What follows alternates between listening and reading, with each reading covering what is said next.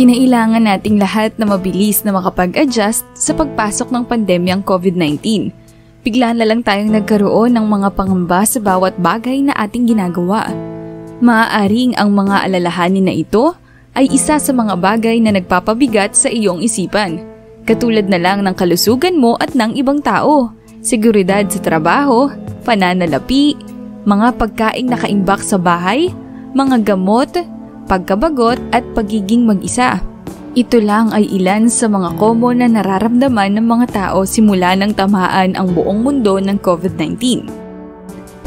Sa pagpasok ng pandemya, Maaaring nakaramdam ka ng takot, pagkairita, pagkalito, galit, labis na pagkabalisa at pag-aalala. Ang lahat ng mga emosyon ay normal na tugon ng isang tao sa kasalukuyang nangyayari. Pero, paano nga kaya natin makakayanan at mapapangalagaan ang ating kalusugang pangkaisipan kung ang lahat pala ng kasalukuyang nangyayari ay maaaring mawala ng isang iglap lang?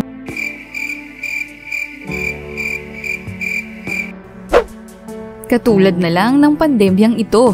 Napakaraming mga negosyo ang nagsara dahil dito. At sa topic natin ngayong araw na ito, pag-uusapan natin ang mga maaari nating gawin sakaling maranasan ng overthinking at ang mga solusyon para mapangalagaan natin ang ating mental health. Narito ang mga bagay na sa tingin namin ay maaaring makatulong sa bawat isa. Number 1 Makibalita sa iyong mga kapamilya at mga malalapit na mga kaibigan. Sa ating henerasyon ngayon, mas ginagawang madali ang pakikipag-ugnayan sa iyong mga mahal sa buhay kaysa sa dati. Isa man itong tawag sa telepono o video call, ang paglalaan ng ilang oras upang makipag-usap sa mga taong mahal mo ay maaaring magdulot ng ginhawa at kagalakan sa kabila ng pisikal na distansya sa pagitan ninyo makipag-usap sa mga taong pinagkakatiwalaan mo tungkol sa iyong mga alalahanin at kung ano ang iyong mga nararamdaman. Ito ay makakapagpagaan ng pakiramdam sa iyo at sa kausap mo. Number 2, ugaliing mag-workout o exercise. Marami sa atin na sa umpisa lang lagi nag exercise Ngunit alam nyo ba na malaki ang naitutulong sa atin ng pag-eehersisyo? Nariyan ang hindi tayo mabilis aantukin sakaling may gagawin pa matapos ang pag-eehersisyo. Tiyak na mabilis din ang paggana ng ating mga utak pagkatapos ng pag-eehersisyo. Dahil din sa pag-eehersisyo, mababawasan ang constant na pagsakit ng katawan dahil sa pagtatrabaho. At kapag ginagawa mo ito, ugaliin mong maglagay ng goal para mapagpatuloy mo ito araw-araw. Number 3. Piliin ang panonooding balita, pakikinggang mga musika at mga pelikulang panonoodin. Alam nyo ba na malaki ang epekto ng mga naririnig at nakikita ng mga tao mula sa mga social media platforms?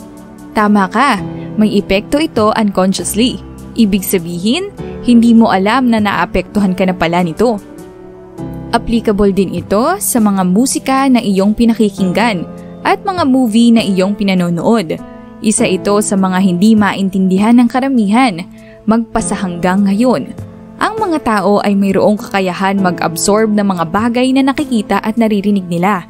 Kaya naman ingatan mo ang iyong sarili sa pakikinig at panonood ng mga bagay na masama o mga walang katuturan dahil unconsciously nakukuha ito ng isip mo at nagmamanifest sa buhay mo.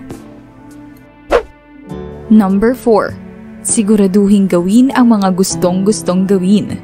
Minsan, isa sa mga dahilan kung bakit nababalisa ang isang tao ay dahil nalilimutan nilang gawin ang mga bagay na nakakapagpasaya sa kanila. Mabuting gumawa ng isang listahan at planuhing mabuti ang mga bagay na gustong-gustong gawin. At kapag may sapat na oras na i-execute ang mga planong ito, tiyak na mawawala ang stress mo. Number 5. Practice meditation. Marami sa ating sasabihin na core nito. Pero alam nyo ba na ang pagme-meditate ay parang isang kapangyarihan na taglay ng bawat tao? Sa pamamagitan nito, maaari kang kumalma. Maaaring mawala ang stress mo sa pamamagitan ng pag-focus lang sa iyong paghinga.